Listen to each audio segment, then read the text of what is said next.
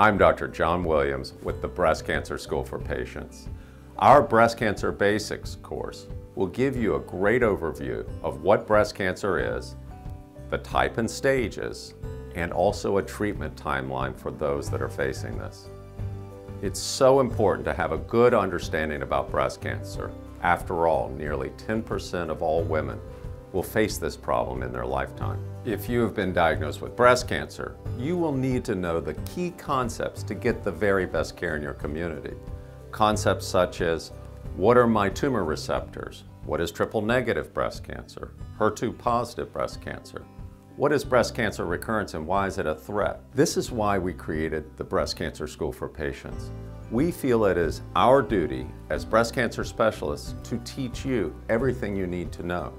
And when you do, you will become an expert in breast cancer and your own best advocate. Sign up for our free courses at breastcancercourse.org.